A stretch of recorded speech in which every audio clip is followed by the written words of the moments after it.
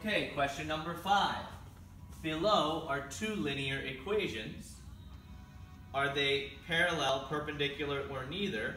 How do you know? Well, if we have parallel lines, that means the slopes are the same. If we have perpendicular lines, that means that we are looking at a negative reciprocal slope. So that would be denominator goes up, numerator comes down, and the sign changes. So either from positive to negative or from negative to positive. If we don't have this or this, then we would have the answer is neither. Okay, so if I look at A, I should be able to see the slope pretty clearly. I just need to solve for Y. So I can just add 2 to both sides. And for A, I get Y equals 4 fifths times X plus 4, that says go left 4. And then I added 2 to both sides plus 2. So that goes up, says go up 2. And this gives us the line in point slope form. So now we'll come to B. And we need to solve this for y, so let's subtract 5x from both sides. So we get 4y equals negative 5x minus 20. And then we'll divide by 4. Make sure we divide both terms by 4. And we get y equals, this is negative 5 fourths, times x then negative 20 divided by 4, that's minus 5.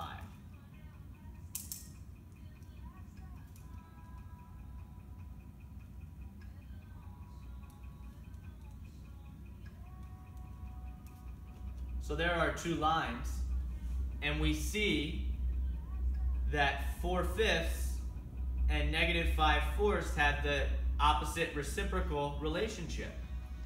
So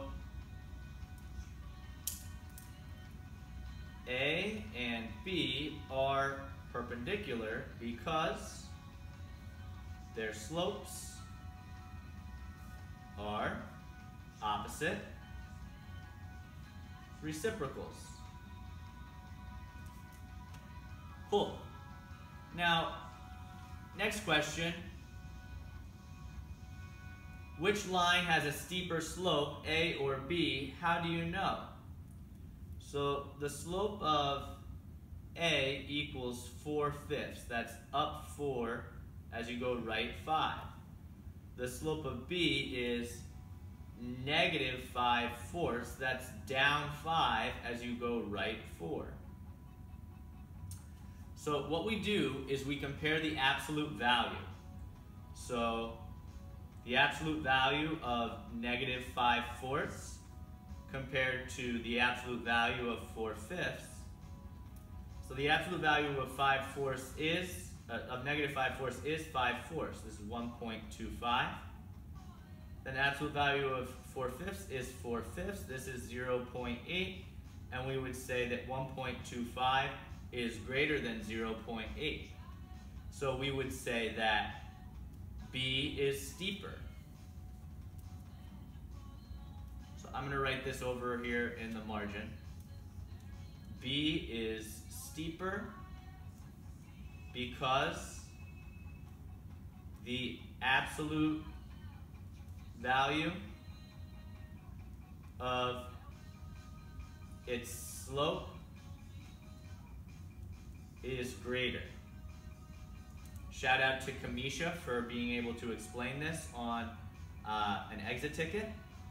And shout out to Deanna for the way that she said that B would have a more dramatic vertical change. Okay, question six. Line P is perpendicular to Q. So what kind of slope relationship are we looking for? We're looking for opposite reciprocal where the equation of q is 4x minus 6y equals 24.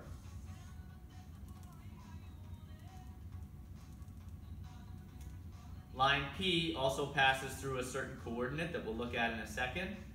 Determine the equation of P in slope-intercept form. So then our final answer needs to be p y equals mx plus b. Make sure it's in slope-intercept form. Now from here, let's figure out what the slope of q is so then we could go find the slope of p. So we have a lot of steps left. Here we go. It's going to take up all of this space. All right. So let's uh, subtract 4x from both sides. Get 6y equals negative 4x plus 24. Then let's divide by 6. So for q, we are getting y equals negative 4 6x or negative 2 thirds x plus 4.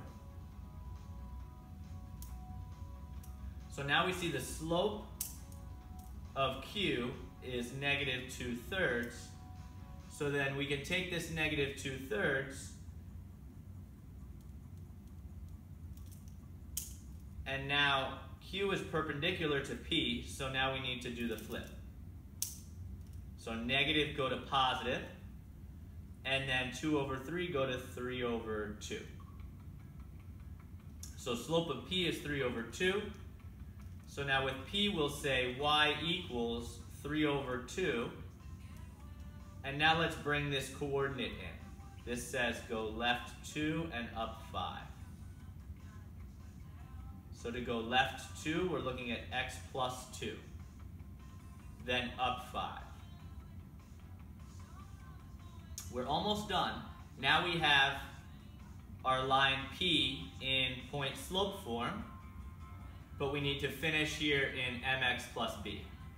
So now we need to distribute 3 halves. So we have 3 halves times x, so that's y equals 3 over 2x.